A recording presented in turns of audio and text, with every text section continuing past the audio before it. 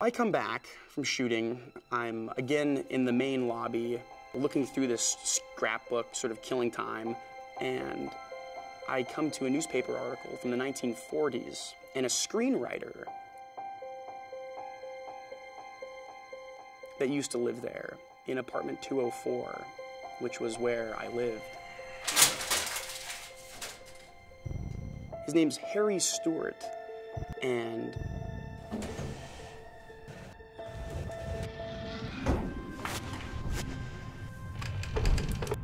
he hung himself from the closet. And all of a sudden, I sort of put it all together. You know, the the chair. He would have. It would have entailed dragging a chair, putting it in the corner. You know, tying the noose and toppling it over, which is exactly how we found it. That was sort of a, a revelatory moment to think all of a sudden I had an explanation for what that noise was, and it, it wasn't like the warmest of explanations.